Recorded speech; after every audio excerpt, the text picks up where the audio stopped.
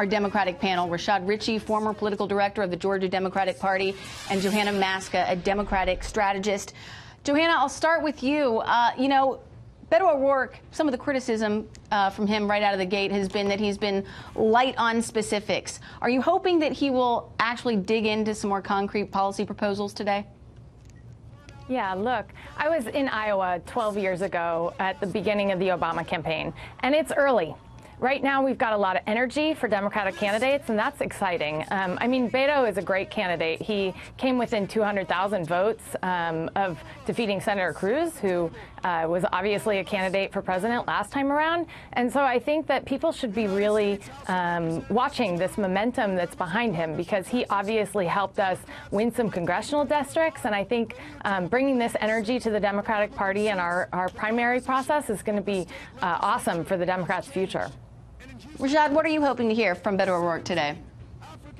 Well, I think he will be able to clarify and more define some of his policies moving forward. But let's be very clear. This is early in a presidential cycle. No one is giving you specifics. As a matter of fact, Republicans during this time last presidential cycle had very few specifics to offer the American people. So I think we're jumping the gun on the specifics argument. We haven't even had a Democratic come on, debate Come yet. on, Rashad. Uh, Leland here. Uh, Elizabeth Warren's got specifics on almost everything that she's laid out. She goes on tweet rants with exactly how she's going to pay for child care uh, proposals and child care for all. She talks at length about Medicare for all. She talks at length about consumer financial protection. There's a lot of specifics from the Elizabeth Warren camp, among others.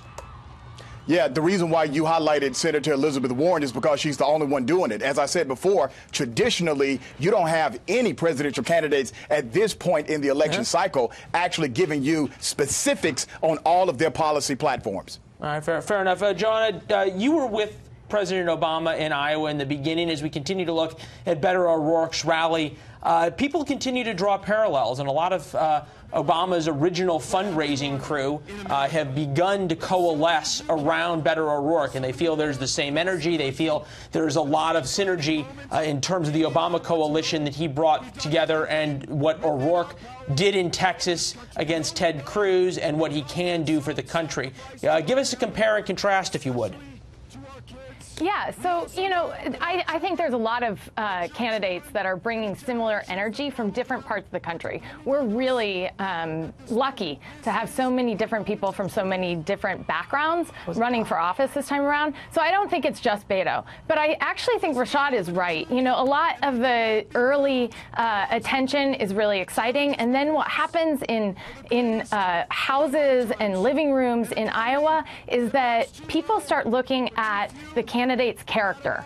And they start making an assessment of whether that person shares a similar background as them and whether they, they, when faced with all the different information that they would have as president, would make the best decision in their interest. And I think that's what we're going to see is people really connect in those early states.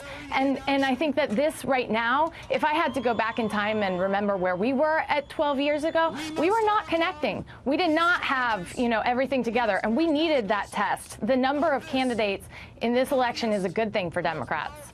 All right, well, right now, according to the latest polls, Beto O'Rourke polling in about third, just behind uh, Joe Biden and Bernie Sanders. Mm. So I know it's early, uh, but he seems to be uh, definitely far towards frontrunner status right now.